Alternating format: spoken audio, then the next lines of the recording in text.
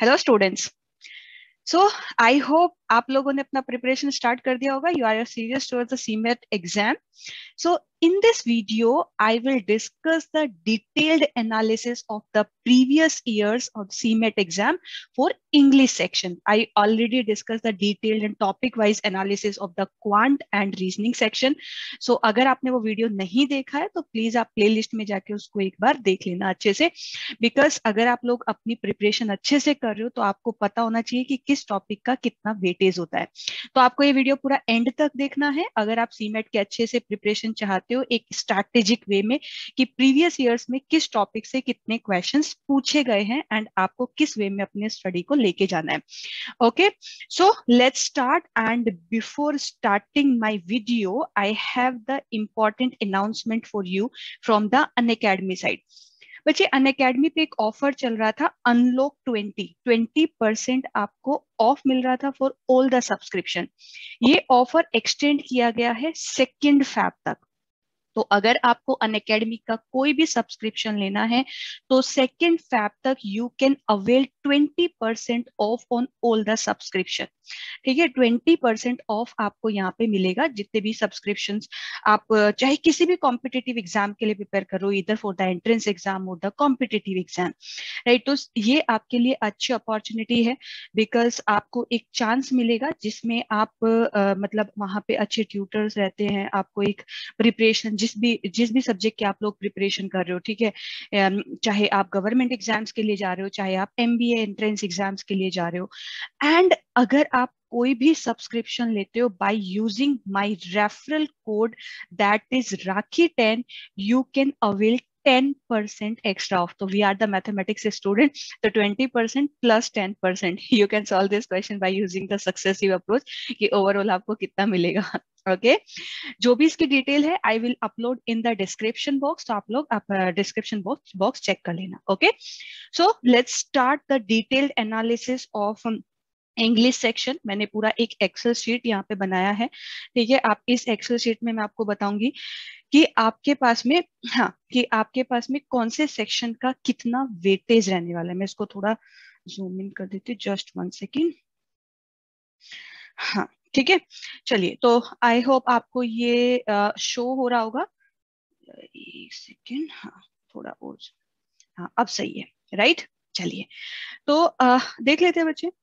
देखो मैंने यहाँ पे 2021 के दोनों सेट 2020 का सेट थ्री 2019 का सेट टू सेट थ्री और 2018 का सेट टू ये पेपर का एस, एक ऐसा एनालिसिस किया कि कितने आरसीस के क्वेश्चन पूछे गए हैं कितने हमारे ग्रामर से रिलेटेड क्वेश्चन है। तो सबसे पहले तो मैं आपको बता देती हूँ सिलेबस के बारे में। देखो बच्चे आपके सीमेट के एग्ज़ाम में आरसी आता है एंटोनिम सिनोनिम्स होते हैं, आप इसको सिंपली वर्ड मीनिंग भी बिकॉज़ अगर आपको वर्ड मीनिंग पता है तो आप एंटोनिम सिनोनिम्स हैंडल कर सकते हो। पैराजम्बल सेंटेंस होते हैं idiom phrases one word substitution grammar word meaning critical reasoning में इन जितने भी मैंने सेट का एनालिसिस किया है टू टू फोर और टू सिक्स सिक्स सेट्स का मैंने एनालिसिस किया है, सिर्फ़ एक में एक क्वेश्चन पूछा गया था तो this is not as much important ठीक है? और एनालॉजी का क्वेश्चन होता है। तो ये तो है आपका सिलेबस दैट मीन्स आपको सफिशियंट आरसी की प्रैक्टिस करनी है. बिकॉज़ आप यहाँ पे देखो 2021 में टोटल 437 और 714 ठीक है? तो टोटल आपके पास में यहाँ पे 14 क्वेश्चंस आरसी से थे. अगर आप इसमें देखो यहाँ पे तो यहाँ पे आपके पास सिक्स क्वेश्चंस थे. 2020 में भी सिक्स क्वेश्चंस थे. और यहाँ पर अगर आप देखते हो तो थ्री थ्री सिक्स और थ्री नाइन और six fifteen total fifteen question RC section से थे। यहाँ पे भी अगर आप देखते हो तो सेम फिफ्टीन क्वेश्चन आरसी से थे और यहाँ पे अगर आप देखते हो तो total fifteen question that means I can say कि आपका जो आरसी वाला पार्ट है वो काफ़ी ज़्यादा है। आप लोग आरसी की प्रैक्टिस करो और आपका जो सीमेट में जो आरसीएस पूछे जाते हैं ना वो बहुत डिफ़िकल्ट नहीं होते। ठीक है, थोड़े डेटा ड्रिवन होते हैं, ऐसा नहीं होता कि कैट लेवल के पूछे गए हैं एकदम बड़े बड़े आरसीज हैं, ऐसा नहीं होता है, ठीक है डेटा ड्रिवन भी रहते हैं कुछ। हो सकता है एक दो सेट आपको डिफ़िकल्ट लगे या थोड़ा ऐसा लगे बट येस बाकी आरसीज आपका स्कोरिंग पार्ट है, आपको आरसी के लिए बहुत अच्छे से प्रिपरेशन करनी है। तो अगर आप, मैं इसकी अगर प्रिपरेशन स्ट्रेटेजी आपको बोलूँ तो डेली आप solve at least three two four RC till exam अगर आप till exam three two four RCs अगर आप सॉल्व करते हो तो आपको बहुत अच्छे से प्रैक्टिस हो जाएगी and you will be confident on the D day कि नहीं, आज तो आरसी के तो सारे ही क्वेश्चन क्योंकि आरसी आप कर लोगे बट विद इन टाइम भी हमें करना है। वैसे सीमेट में टाइम का कोई प्रॉब्लम नहीं होता बट आरसी में फिर से बोलियो स्कोरिंग पार्ट है बिकॉज़ यू डोंट नो कि जो आपने वर्ड मीनिंग्स याद किए हैं वही एग्ज़ाम में आएँगे। बट आरसी में कुछ याद नहीं करना, आपको एक अंडरस्टैंडिंग बिल्ड करनी है, अपनी रीडिंग एबिलिटी इंप्रूव करनी है ठीक है? और उसके बेसिस पे आप आरसी को क्रैक कर सकते हो। ये तो हुआ आरसी वाला पार्ट ठीक है? तो three two four RC per day solve करो। Read as much as you can ठीक है? Read the different type of newspaper editorials read करो। आ, तो ये चीज़ें आपको डेफिनेटली हेल्प करेंगी। अब अगर हम सेकंड में आए एंटोनियम सिनोनिम्स तो एंटोनिम सिनोनिम्स अगर आप 2020 में देखो तो सिक्स क्वेश्चन 2019 में टू क्वेश्चन यहाँ पे भी टू क्वेश्चन यहाँ पे भी टू क्वेश्चन तो दैट मीन्स आप एंटोनिम सिनोनिम मतलब वर्ड वर्ड मीनिंग की थोड़ी प्रैक्टिस करके रखो. पैराजम्बल सेंटेंस अगर आप देखते हो तो यहाँ पे दो पीजे थे, यहाँ पे वन था, यहाँ पे थ्री थे, यहाँ पे वन थे. दैट मीन्स पैराजम्बल्ड की भी आप अच्छे से प्रैक्टिस करो. In the end I will I will discuss कि आप अगर सेल्फ स्टडी कर रहे हो तो कहाँ से प्रिपरेशन कर सकते हो. ईडियम फ्रेजेस के लिए, यहाँ पे देखो ट्वेंटी में सेट वन में दो ईडियम फ्रेजेस यहाँ पे भी टू 2020 में थ्री ईडियम फ्रेजेस यहाँ पे थ्री यहाँ पे टू और यहाँ पे two that means two two three idiom phrases आपकी हर एक सेट में पूछी गई है। अगर आप लोग वन वर्ड सब्सटीट्यूशन देखो तो वन वर्ड सब्सटीट्यूशन यहाँ पे वन यहाँ पे three one one that means one two three तक आपके ईडियम एंड फ्रेजेस पूछे जा सकते एग्ज़ाम में. Sorry one word substitution grammar का पार्ट भी बहुत ज़्यादा इंपॉर्टेंट है। दैट मीन्स आपको ग्रामर की अच्छे से प्रैक्टिस करनी होगी। लाइक like आपके पार्ट्स ऑफ़ स्पीच हैं, फिर उसमें जो प्रीपोजिशन वाला पार्ट है, वो इंपॉर्टेंट होता है। प्रीपोजिशन वाला पार्ट आर्टिकल्स वाला पार्ट फिर आपके जो सब्जेक्ट वर्ब एग्रीमेंट्स होते हैं तो ये सब इंपॉर्टेंट वाले पार्ट्स है मॉडल्स हैं, उनका कैसे यूज़ करना है तो ग्रामर की आप अच्छे से प्रैक्टिस करो। यहाँ पे देखो ट्वेंटी में एक क्वेश्चन प्रीपोजिशन बेस्ड था। फाइव सेंटेंस का करेक्शन वाले सेंटेंस थे एरर फाइंडिंग ठीक है? फिर फिल इन द ब्लैंक्स में भी आपकी ग्रामर वाला यूज़ है। सेंटेंस को सही करना, यहाँ पे भी सेंटेंस इंप्रूवमेंट तो ये आपका ग्रामर का भी काफ़ी इंपॉर्टेंस है तो आपको ग्रामर पे वर्क करना पड़ेगा।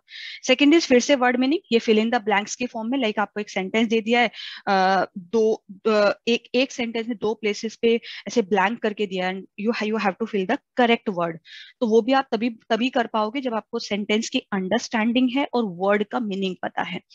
क्रिटिकल रीजनिंग बेस्ड क्वेश्चन सिर्फ़ एक जगह पूछा गया है, एक यहाँ पे 2018 में, उसके बाद कभी नहीं पूछा गया तो आप इसको इग्नोर भी कर सकते हो। एनालॉजी एनालॉजी भी 2018 एंड 2019 में ही पूछी गई तो एनालॉजी भी मतलब इतना ज़्यादा वो नहीं है कि आपको इतना टेंशन लेना है।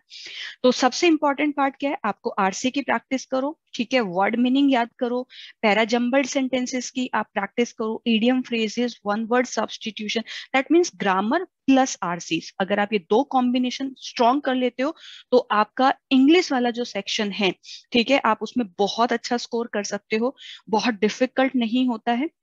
सब कुछ क्वांटिटेटिव uh, टाइप है। मतलब आप लोग अगर थोड़ा प्रैक्टिस करो याद करो तो yes definitely you can do that अब मेन चीज़ आती है कि कहाँ से प्रैक्टिस करें मैम अब देखो बच्चे अगर आप किसी भी एक्स वाई जेड इंस्टीट्यूट से प्रिपरेशन कर रहे हो तो उसका मटेरियल वहाँ के मेंटोर जो भी आपको गाइड करते हैं वो आप फॉलो करो ठीक है? क्योंकि हर कोई टीचर हर कोई मेंटोर बहुत अच्छे से आपको गाइड करेगा।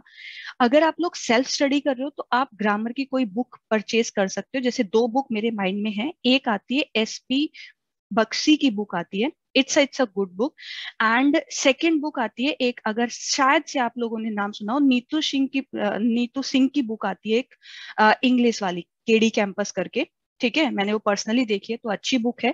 आ, आप उसमें ये सारी चीज़ों की प्रैक्टिस आपको मतलब इसका वॉल्यूम वन इज़ सफिशियंट उनके दो तीन वॉल्यूम है तो वॉल्यूम वन इज़ सफिशियंट अगर आप इतने टाइम में वो भी कर लेते हो ना तो आपको बहुत हेल्प मिलेगा। ठीक है? एसपी बक्सी थोड़ी हायर साइड है। तो अगर आपको थोड़ा मतलब ऐसा है कि मुझे एकदम बेस से करना है देन आप ये ले सकते हो। लेकिन अगर आपके बेसिक्स फंडामेंटल्स क्लियर है, तब आप ये वाली बुक कर सकते हो। Both are the good books ठीक है? फॉर द इंग्लिश सेक्शन तो बच्चे देखो क्वांट और रीजनिंग मोस्टली स्टूडेंट्स निकाल लेंगे, क्योंकि थोड़ा बहुत प्रैक्टिस ऐसे पूरा किया है। लेकिन इंग्लिश भी आपका, जैसे मैंने बोला था जीके सेक्शन है, आपका टाइप ब्रेकर है तो इंग्लिश सेक्शन भी ऐसा ही है। तो आपको यहाँ पे अच्छे से स्कोर करना है because we are targeting the good percentile because if you if you if you secure the good percentile then we can get into the admission into good B school right? so this was the whole analysis of the english language section still if you have any doubt and you need any help from my side please comment in the comment box. I will definitely answer you your question and uh, try to help you. Okay? So thank you so much guys. Bye bye take care. We will meet uh, in the next video. Thank you